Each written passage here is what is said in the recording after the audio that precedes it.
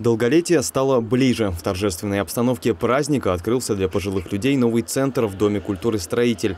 Здесь рады всем, кто устал сидеть дома и ищет единомышленников. Мы уже набрали группу активных жителей нашего района, которые непосредственно хотят заниматься и быть частью нашего Дома культуры. В ближайшее будущее планируем написать а, грант президентского фонда, на основании которого мы сможем с помощью этого гранта реализовать а, большое количество наших возможностей. Привлекать и увлекать представителей серебряного возраста будут клубами по интересам. Вскоре начнут работу кулинарные курсы, хореография, кружок вокала и спортивные направления – цигун, скандинавская ходьба и оздоровительная гимнастика.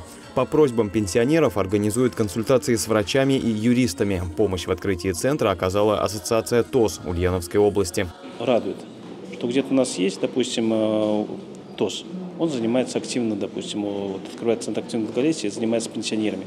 Где-то у нас нет ТОСов. Поэтому открываем там центр активного долголетия на базе ассоциации ТОС, а потом создаем там ТОС и учим его заниматься проектной деятельностью.